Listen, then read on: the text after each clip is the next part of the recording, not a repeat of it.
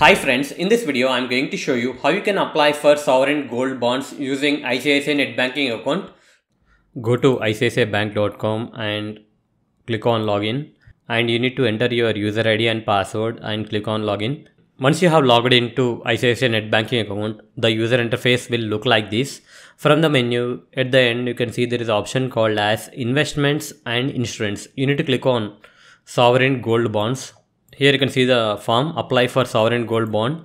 Under debit account number, you need to select your savings bank account and it will automatically fetch your bank balance.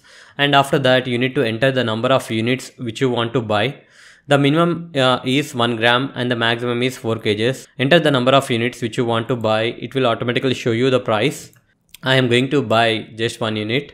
After that, you have the option to hold these uh, sovereign gold bonds in your demat account if you want, you can select yes. Otherwise, you can simply select no. But I would like to have these sovereign gold bonds in my demat account. So I'm going to select yes and you need to enter your DP ID and your client ID.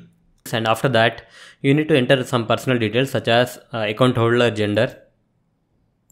And after that, you need to enter your date of birth, which is present in your bank records after entering your date of birth, you need to accept the terms and conditions. You need to select this box and after that you need to click on submit.